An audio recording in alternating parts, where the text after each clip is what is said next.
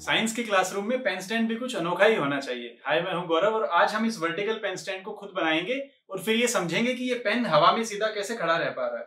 इसके लिए हमें एक साइकिल स्पोक यानी साइकिल की ताड़ी, एक पेन दो रिंग मैग्नेट्स एक सीडी और थोड़ी सी टेप चाहिएगी सबसे पहले साइकिल स्पोक के इस सिरे से दो उंगलियों जितनी जगह छोड़कर हम उसे मोड़ देंगे। इससे हमें ये कुछ इस तरह का वी शेप मिल जाएगा, जिस पर हम अपनी ये मैग्नेट आसानी से रख सकते हैं। तो हमारा मैग्नेट को रखने का स्ट्रक्चर तो तैयार है। अब इस बाकी के तार को मोड़कर हमें एक ऐसा स्टैंड बनाना है जिस पर ये खड़ा हो सके। और उसके लिए हम इस तार को यहाँ से नीचे की तरफ़ मोड़ देंगे, जिससे हमें ये सात जैसी दिखने वाली एक शेप मिल जाएगी।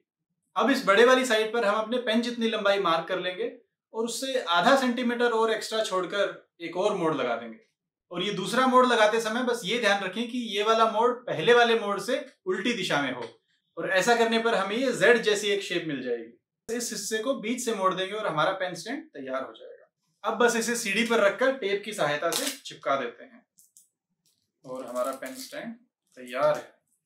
इस दूसरी मैग्नेट को अब हम इस पेन में फिक्स कर देते हैं। और अगर ये चुंबक पेन पे ढीली है तो पेन पे हम कागज़ का एक छोटा सा टुकड़ा लपेट देंगे। और अब मैग्नेट को डालेंगे तो ये इस पे एक जगह फिक्स हो जाएगी। और ये बाकी का जो कागज़ है ये हम हटा देंगे। अब आखिरी में बस हमें ये चेक करना है कि जो पेन वाली मैग्नेट है और ये जो स्टैंड वाली मैग्नेट है, ये दोनों अट्रैक्शन की स्थिति में हो, यानी आकर्षण की स्थिति में हो। और हम अभी पा रहे हैं कि ये दोनों विकर्षण यानी रिपल्शन की स्थिति में है तो ऊपर वाली मैग्नेट को हम उठाकर पलट देंगे। और अब देखिए, अब ये पेन इस पे चिपक पा रहा है। और अब हमारा पेन स्टैंड तैयार है। इसको हम पेन को नीचे रख सकते हैं और घुमा भी सकते हैं।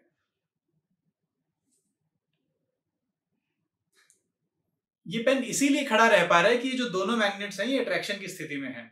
यानी दोनों मैग्नेट्स के ऑपोजिट पोल्स एक दूसरे को फेस कर रहे हैं। फॉर एग्ज़ाम्पल अगर ये स्टैंड वाली मैग्नेट है, इसका निचला वाला सिरा अगर नॉर्थ पोल है तो ये जो पेन वाली मैग्नेट है, इसका ये जो ऊपरी सिरा है, ये साउथ पोल होगा। और अगर दोनों मैग्नेट्स के सेम पोल एक दूसरे की तरफ़ हो पाए तो ये पेन खड़ा नहीं रह पाएगा। तो हम ये करके भी देख सकते हैं। इस ऊपर वाली मैग्नेट को अगर मैं पलट के रख दूँ तो अब ये पेन इस पे खड़ा नहीं रह पाएगा और अब ये गिरता रहेगा। और अगर इसको फिर से मैं उल्टा कर दूँ, अब ये बहुत शांति से खड़ा रह पाएगा। और तो और हम इसे घुमा भी सकते हैं। और ये पेन बहुत देर तक इसीलिए घूम पा रहा है क्योंकि ये जो पेन है, इसकी टिप और ये जो सीडी का चिकना सरफेस है, इन दोनों के बीच फ्रिक्शन बहुत ही कम है। इसीलिए एक बार घुमाने पर यह पेन काफ़ी देर तक घूमता ही रहता है। अगर पेन अपनी जगह पे खड़ा नहीं हो पा रहा है तो आपको इन दोनों मैग्नेट्स के बीच की जो दूरी है, वो एडजस्ट करनी पड़ सकती है। तो उसके लिए हम क्या कर सकते हैं? अगर दूरी कम है तो ये जो पेन की मैग्नेट है, उसको थोड़ा सा नीचे खिसका सकते हैं। और अगर दूरी ज़्यादा है तो हम ये जो ऊपर वाली मैग्नेट है, इसको थोड़ा सा नीचे बेंड कर सकते हैं, ताकि दूरी कम हो जाए।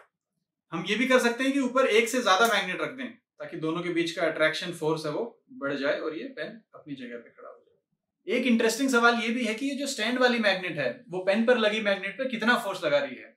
क्या वो इसके वज़न से ज़्यादा है, वज़न से कम है या वज़न के एग्जैक्ट बराबर है। अगर ये फोर्स वज़न से ज़्यादा या वज़न के बराबर भी होता तो ये पेन यहाँ पे खड़ा नहीं रह पाता। ये ऊपर जाके इस मैग्नेट पर चिपक गया होता और ऐसे हवा में होता फिर ये पेन और पर क्योंकि ये पेन हवा में नहीं है और नीचे अपने टिप पे खड़ा हुआ है, इसका मतलब है कि ये जो फोर्स है, ये इसके वज़न से कम है। लेकिन कितना है उसको जानने के लिए हम ये एक्टिविटी कर सकते हैं। इसे हम ट्रस्ट फॉल कहते हैं। इसको करने के लिए हमें दो लोगों की और ट्रस्ट की ज़रूरत है। दोनों में से किसी एक को अपनी आँखें बंद कर लेनी है और हाथ चेस्ट पर फोल्ड कर लेने हैं और दूसरे को उसके पीछे खड़ा हो जाना है। अब पहले वाले को बिना पैर मोड़े सीधा पीछे की तरफ़ गिरना है। ये ट्रस्ट करते हुए कि पीछे वाला उसको कैच कर लेगा। तो ट्रस्ट फॉल से ये तो पता चलता ही है कि कौन किस पे ट्रस्ट करता है और करने से धीरे धीरे ट्रस्ट बढ़ता भी है, लेकिन साथ साथ हमारे ये जो पेन स्टैंड है, इसके सवाल का जवाब भी हमें उसी से मिल जाता है। फॉल करते टाइम अगर हम उसे तुरंत ही कैच कर लें तो वापस सीधा करने में ज़्यादा फोर्स नहीं लगाना पड़ता। और अगर वो सीधा ही खड़ा है तो उस केस में तो ज़ीरो ही फोर्स लगेगा। लेकिन अगर हम काफ़ी सारा फॉल होने के बाद सीधा करेंगे तो बहुत सारा फोर्स लगाना पड़ेगा। इसी तरह से हमारे पेन स्टैंड में भी, जब ये पेन सीधा खड़ा हुआ है तो ये ऊपर स्टैंड वाली जो मैग्नेट है, इसको फोर्स लगाने की ज़रूरत नहीं है। पर जैसे ही पेन थोड़ा सा टेढ़ा होगा तो इस ऊपर वाली मैग्नेट का काम है कि इसको वापस से सेंटर पोजिशन में ले आए। जैसे ये इधर जाए तो इसको वापस से इधर ले आए। जैसे इधर जाए तो वापस से इधर ले आए। तो इसका काम बस इसे सेंटर पोजिशन में रखना है। इसके वेट को सपोर्ट करना नहीं है। यानी पेन को सीधा रखने के लिए उसके वज़न से बहुत ही कम फोर्स इस मैग्नेट को लगाना पड़ेगा।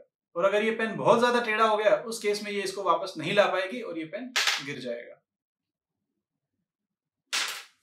आप इस एमडीएफ शीट से भी ये पेन स्टैंड बना सकते हैं। इसके पार्ट्स को बाहर निकालकर उनको रबर बैंड से अगर जोड़ देंगे तो हमारा पेन स्टैंड बनकर तैयार हो जाएगा। अब बतख की चोंच में ये मैग्नेट को लगा देंगे। और जब नीचे पेन को रखेंगे तो ये सीधा खड़ा हो जाएगा। तो पेन स्टैंड तो ऐसा ही है और काम भी वैसे ही कर रहा है, बट थोड़ा सा खूबसूरत हो गया है बस।